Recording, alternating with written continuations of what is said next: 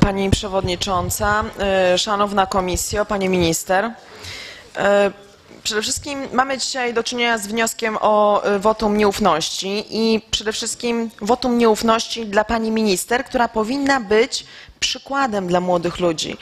A tym samym Pani tak naprawdę mija się z prawdą za każdym razem. Zaczęło się od y, 2009 roku, gdzie była Pani po prostu oburzona tym, że y, jak można co rząd wprowadzać y, inną reformę. Y, Później w 2013 roku Pani Minister była przekonana, i tutaj y, cytat, Skoncentrowanie w jednej placówce dzieci i młodzieży prowadzić będzie do wzrostu zachowań agresywnych, szerzenia się w szkołach przemocy oraz innych patologicznych zjawisk, takich jak narkomania czy alkoholizm. A z kolei dziś mówi pani, co jest naprawdę prześmieszne, dzisiaj patrzę na 13-14-latka jako na osobę, która się opiekuje młodszymi. Y, Pani minister, to, to co pani robi, to jest po prostu y, hipokryzja w najgorszym wydaniu. Natomiast y, już mamy panią przyłapaną na, jest pani przyłapana na kolejnym y, mijaniu się z prawdą bądź konfu. Napisałyśmy interpelację. I w interpelacji zapytaliśmy o badania, jakie, na podstawie jakiej została przeprowadzona założenia do pani reformy. I odpisuje pani w tej interpelacji, że znacznie zmniejszyło się zróżnicowanie wyników pomiędzy szkołami. Nastąpiła też zdecydowana poprawa średnich wyników. Głównym założeniem pani jest to, że gimnazja się nie udały, dlatego że nie wyrównują szans. Po czym pisze pani w interpelacji, chyba wczoraj dostaliśmy odpowiedź, że dalej czytamy. Ta analiza wykazała, że uczniowie 15-letni, szczególnie osiągający słabsze wyniki, skorzystali na reformie, gdyż o rok został opóźniony moment, w którym uczniowie podejmowali naukę w różnych typach szkół.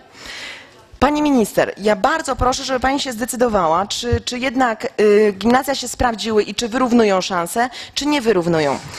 I teraz y, tak naprawdę y, została pani sama, no prawie sama, bo już Rządowe Centrum Legislacji jest przeciwne reformie.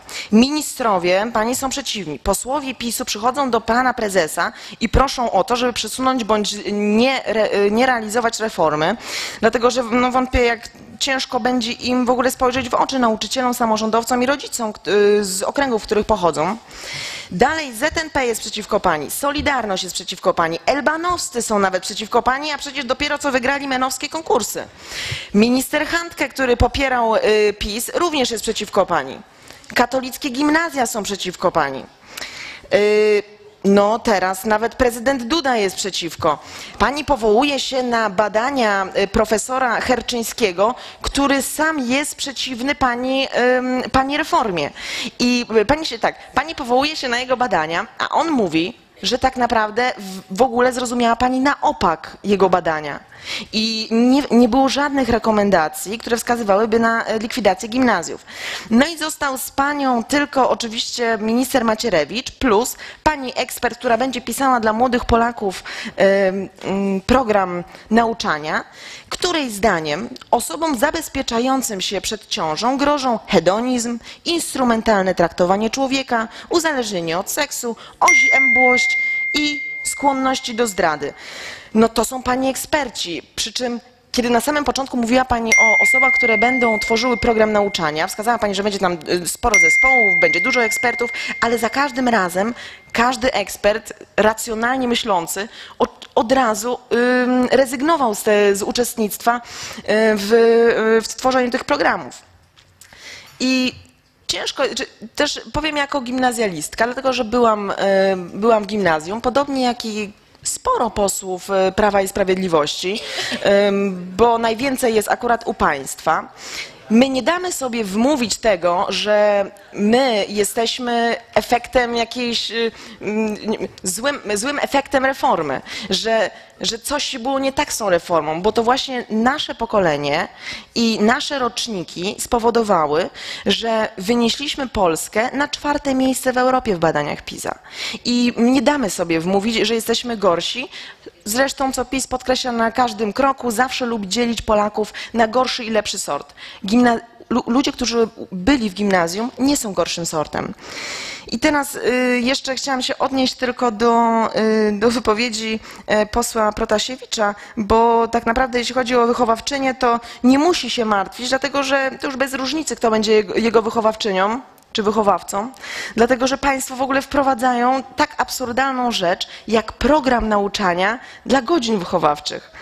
Mm, No i plus oczywiście w, y, jego, mm, jego dziecko będzie miało dużo większy problem, bo w 2019 roku y, spotkają się dwa roczniki i w liceum y, będą konkurowali ze sobą nie 350 tysięcy dzieci, tylko 700 tysięcy dzieci. A z kolei jeszcze, y, jak mogła się odnieść do pani poseł Lubnauer, y, bo pani pytała, czy są jakiekolwiek badania. Nie ma żadnych badań.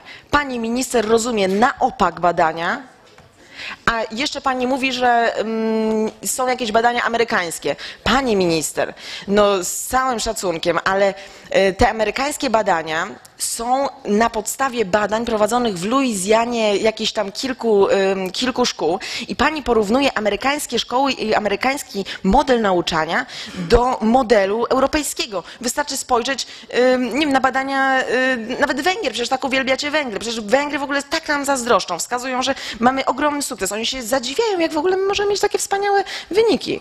Więc no, popieram, popieram wniosek i myślę, że większość mojego pokolenia, zresztą wskazują to badania i Barometru Warszawskiego oraz y, teraz ostatnie badania OKO.press, że większość osób, które uczestniczyło, które uczestniczyło w systemie i było w gimnazjach, y, nie popierają Pani reformy. Dziękuję. Dziękuję.